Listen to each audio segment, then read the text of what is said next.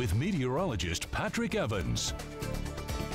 That's the view from the Indian Wells Golf Resort, and it is a spectacular view this morning. Not much in the way of cloud cover, clear skies, and light breezes presently.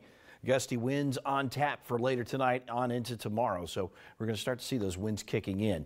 Uh, in terms of temperatures, we're cooler this morning. Skies were clear in the overnight hours, and we also saw fairly light winds, so that allowed us to cool off pretty nicely.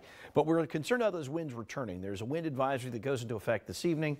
It will last through 10 o'clock tomorrow, but there are even stronger concerns about winds as you head farther south uh, a high wind warning in San Diego County running along the 15 freeway and then stretching into the mountains. And you can see just how wide a swath the wind advisory cuts across Southern California. So uh, significant wind concerns as a ridge of high pressure builds in, encouraging those offshore winds, the Santa Ana winds kicking back up. They've been fairly persistent off and on from last weekend, early this week, and now as we wrap up the week. And the wind speeds, well, they picked up significantly in the last hour. We were looking at winds below the 10 mile per hour mark, and now you're getting winds close to the 20 mile per hour mark. So we're going to start to see that. And also the wind direction will shift. It will be more, much more clearly offshore as we head into the afternoon and evening.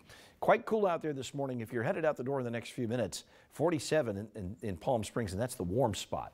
We're still at 32 in Thermal and Mecca. Very chilly East Valley, 38 in La Quinta, 36 in Indio. So please, uh, dress appropriately for the cool weather. We're running as much as 8 degrees colder this morning than yesterday, so it's a significant change, and it definitely feels like it out there as you walk out to the car head to the school bus stop. We will at least get a little relief from that cool weather. Warming up nicely, headed toward the low 70s this afternoon. About a degree or two above average, but in line with our average temperatures for the day the Comfort Air seven day forecast keeps us in those lower and middle 70s. We also continue to see some gusty winds. I think with those winds, the overnight hour temperatures won't be as cold tomorrow morning because the winds tend to hold up temperature. But you'll notice something. The winds stay with us off and on, specifically through Friday, but even into Saturday, a little breezy. Calmer on Sunday, and then a little bit warmer on Sunday and Monday as well.